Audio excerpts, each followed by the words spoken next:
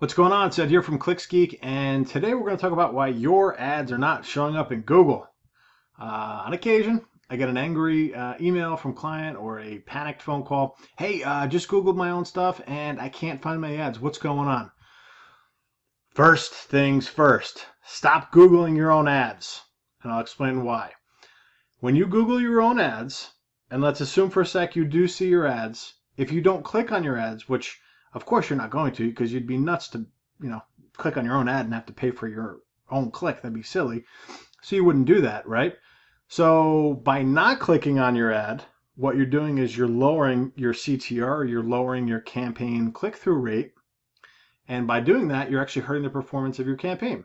Ed, I only did it one time. Stop lying to yourself. No one does this just once. Everyone does this like at least once a day. If you're doing it once a day, that's 30 times per month that you're seeing the ad and it didn't click through and it's hurting campaign performance. So that's number one. Stop doing that. Better thing to do is to use the ads preview tool. If you don't know what that is, just Google Google Ads preview tool and it'll pop up. And all you got to do is go in and set your geo targeting for your location and do a search and it'll show you what it looks like. That's best practice, okay? If you are um, if you're not seeing the ad so let's say for example someone else googled it or whatever whatever reason however you came up with the the fact that your ads are not showing um, it could be you're not seeing impressions in the campaign or it could be any number of reasons but there are lots of reasons why your ads potentially would not be showing and i'm going to walk through a bunch. First is the most common situation what i just went through. At a certain point if you're the one searching um, and not clicking the ads Google starts to realize it's very intelligent and starts to realize that you're the owner of the account and you're just searching for yourself and they're going to stop displaying your ads. Not best situation. You don't want that to happen. So stop doing that, please. You're hurting your own campaign. Um, that's first things first. Another thing to think about is your ads will never appear for 100% of your searches. It just doesn't work that way. You can get pretty close to it, but 100% is very unlikely. Next thing to think about is our golden ratio, which we've talked about a lot on this channel, the Google Ads golden ratio.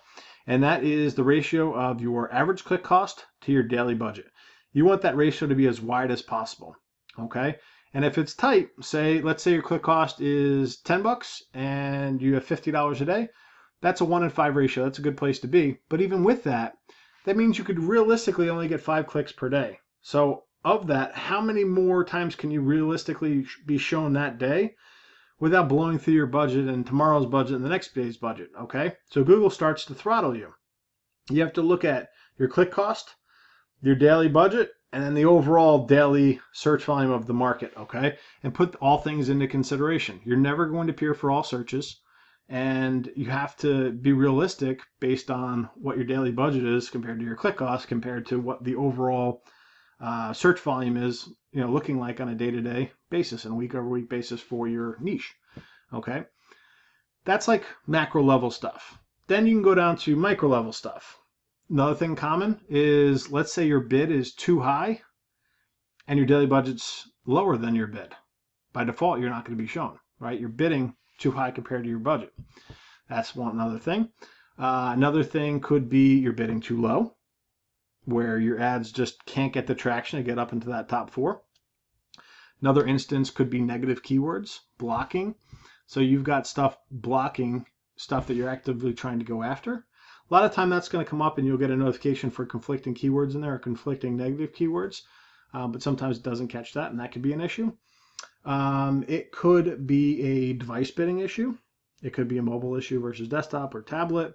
Um, it could be Perhaps a payment didn't go through. Um, it could be that your ads are uh, disapproved. It could be that your ads are under review. There's literally like tons and tons and tons of reasons why it might happen. In our situation, what we see the most is what I went through first. That's assuming you've set everything up correctly, and that's assuming you've gone through the Google Ads magic formula, you've got you've targeted the right keywords, you're writing compelling ad copy. You're sending the traffic to a uh, page that's going to convert at a high rate. That's the magic formula.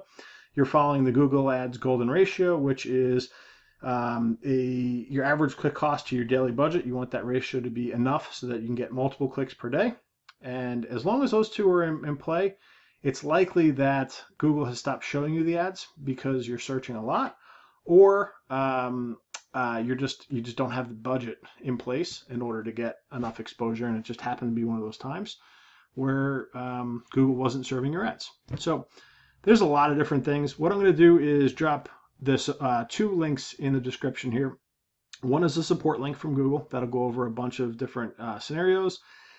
And the next is an article from WordStream that I really like that outlines, I think it's 10 or 11 or 12 reasons why you're potentially not showing up and uh, giving examples of what to do and what to look for.